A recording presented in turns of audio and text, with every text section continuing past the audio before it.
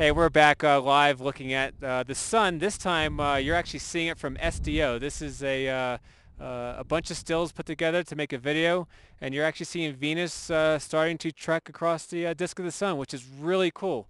so we're going to be providing you more footage from SDO as the transit goes along, and we're broadcasting.